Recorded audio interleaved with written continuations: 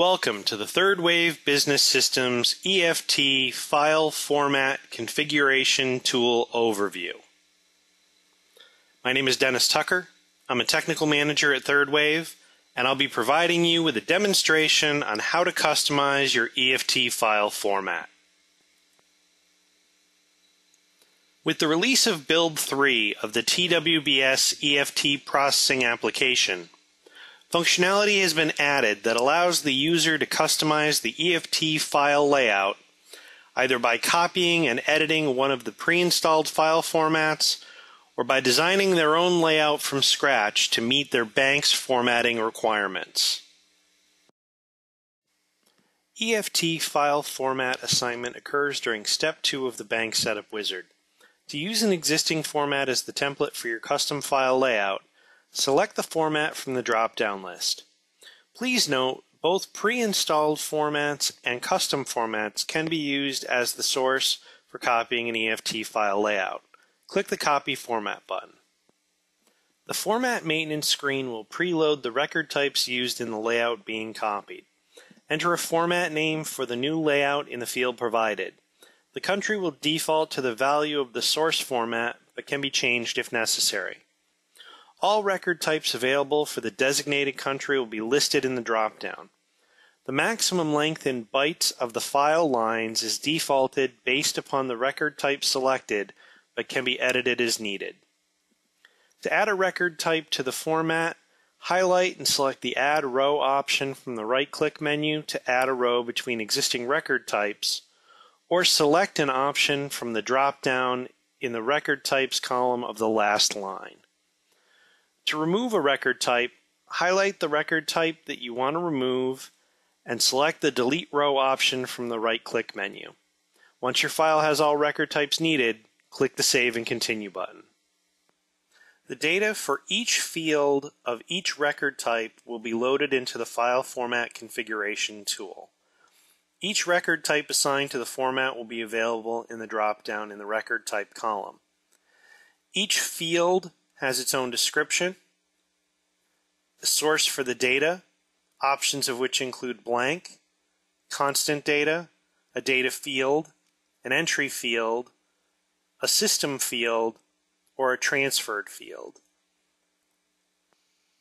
Each field has a value, noting whether it's a required field, an optional field, or a mandatory field. Each field also has a specific data type.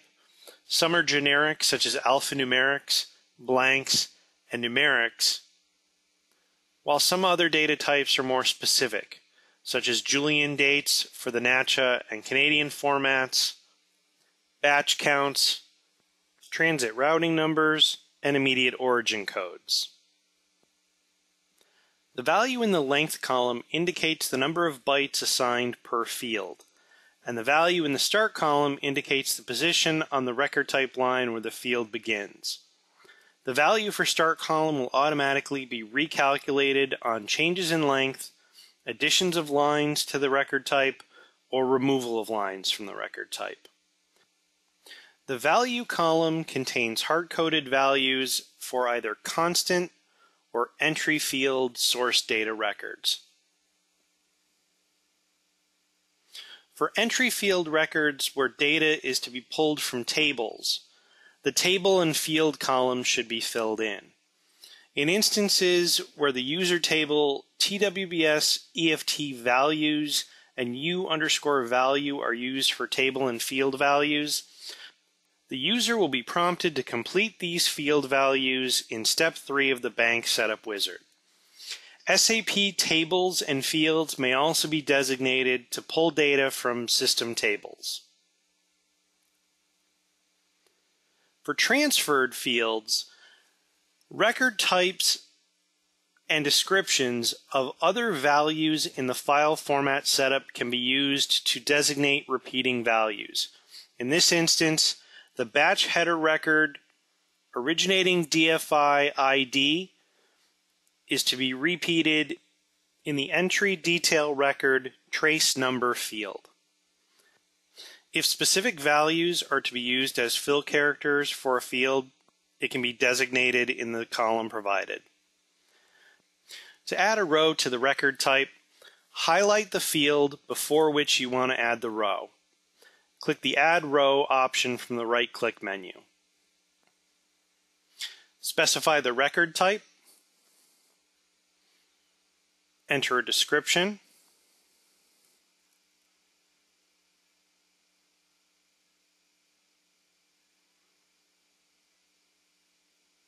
Select a data source type.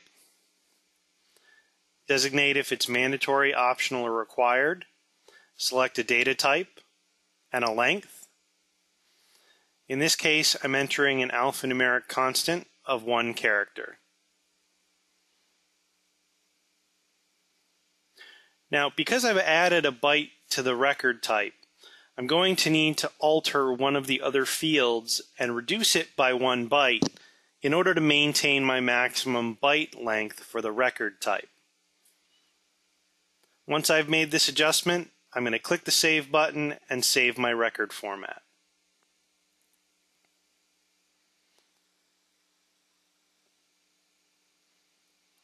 Once the format is saved, I'll be returned to the bank setup wizard.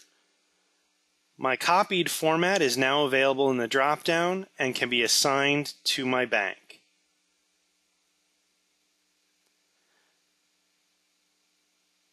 To edit my format, I can simply click the Edit Format button.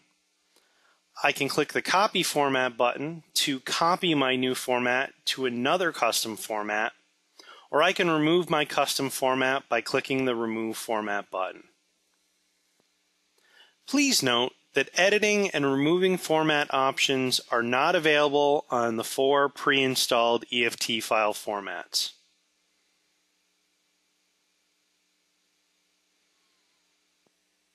To create a new EFT file format from scratch, click the Define New option. Enter a format name and select a country. Select all desired record types for your new format.